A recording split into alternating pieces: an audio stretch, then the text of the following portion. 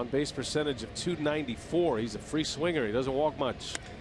And he lines one to center. Base hit. Broxton's got it on a hop. They will hold the runner around third.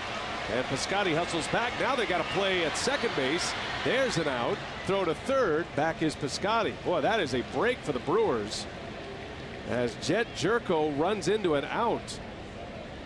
Well, Keon Broxton does the right thing, and he hits the cutoff man. And yeah, the Cardinals with a big mistake, a base running blunder. Yeah, Jedd Gyorko around the bag a little bit too much. There you see him right there, and the Brewers do a good job in the rundown.